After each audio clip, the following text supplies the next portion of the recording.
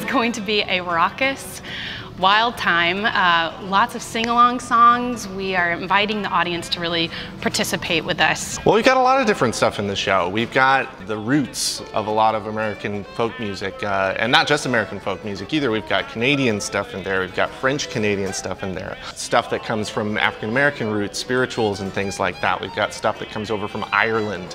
We've got stuff from Scotland.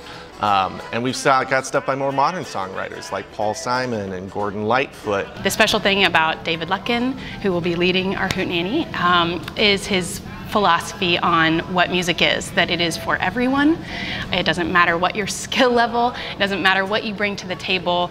Music is for us all to participate in. And so we'll invite the audience to play along, sing along, stomp along, clap along, however you want to participate. David has been having hootenannies, um, which are just these big folk music jams, uh, for a very long time in a lot of different places, and I've been lucky enough to be part of a lot of them.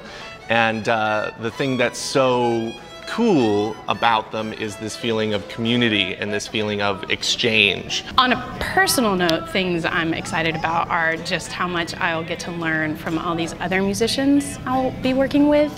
Um, they have such a vast amount of experience um, as musicians and artists and singers, and I'm really thrilled at how much I know I will grow from the beginning of this process to the end. You can expect um, some fantastic musicianship is the first thing that comes to mind um, because everybody in this show is just bonkers talented. And that's part of the, the fun of this kind of show, I think, is just watching people go from instrument to instrument to instrument.